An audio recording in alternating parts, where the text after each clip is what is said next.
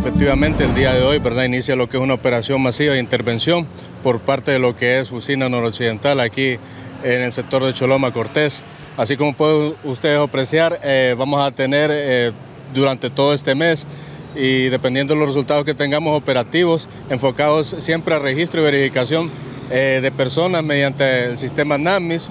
Como lo pueden ver, tenemos dispositivos tecnológicos, los compañeros usando las computadoras y, y registrando a las personas en la base de datos, ¿verdad? Que tenemos como Policía Nacional. Eh, vamos a tener eh, este punto por los momentos y va a ser de forma móvil. Vamos a estar ubicándolo en diferentes lugares, ya puede ser aquí sector Choloma, sector López Arellano, los bajos de Monterrey. Y la, la, intención es esta, ¿verdad? Ubicarnos en aquellas zonas donde hemos tenido reportes de algunos ilícitos, ¿verdad? Y frenar y disminuir el mismo. ¿Se han reportado últimamente asaltos a las unidades de transporte público de pasajeros aquí en este sector?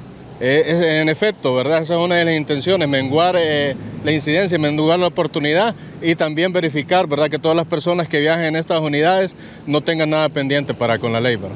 ¿Qué resultados han obtenido? Hasta el momento eh, es positivo, tenemos dos personas, ¿verdad? Ya identificadas, una que tiene una orden de captura por violencia intrafamiliar y otra una orden de captura por el delito de robo. Están pendientes en el proceso de verificación a ver si existe una contraorden del juzgado competente. Algunas veces las personas pues se sienten contentas, otras quizás no, porque se les pierde un poco de tiempo cuando viajan en las unidades de transporte. ¿Es importante este trabajo? Pedimos la cooperación de parte de los usuarios, ¿verdad? Todas estas acciones se hacen con el fin, ¿verdad? De dar un seguridad y y hacer de que su viaje sea, lo, como le digo, lo más seguro posible.